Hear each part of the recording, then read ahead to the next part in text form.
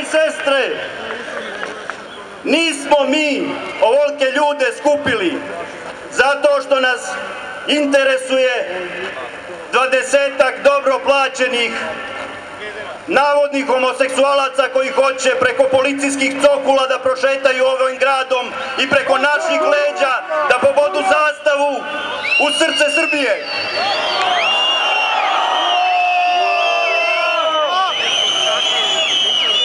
Mi smo, braćo i sestre, ovde došli zbog pedera u foteljama.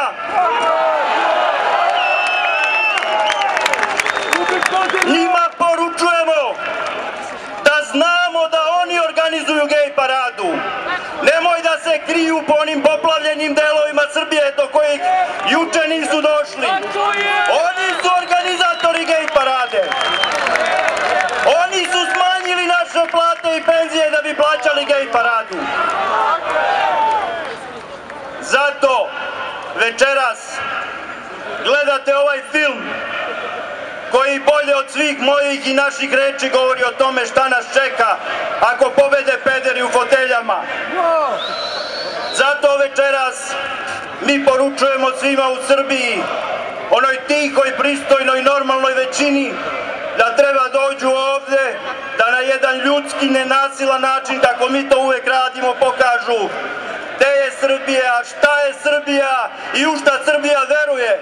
U gej paradu veruju samo pederi u foteljama, mi u to ne verujemo!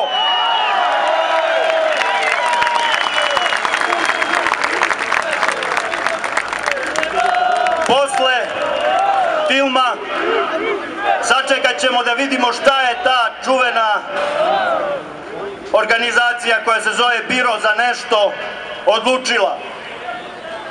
Moj prijatelj Vlade Dimitrijević lepo kaže da postoji nešto što se zove gej stapo.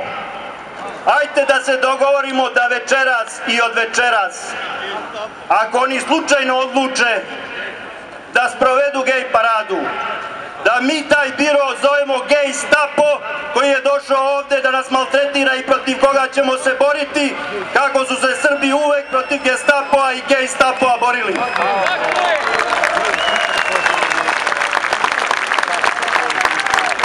Ali naravno ne nasilno. Jer nas ima više, mi smo normalni, mi imamo žene i decu, mi smo ona Srbija na čijoj strani život, mi treba da se veselimo, mi treba i kad smo ljuti da budemo dostojanstveni i gospodstveni. Jer mi nismo pederi i u pedere ne verujemo.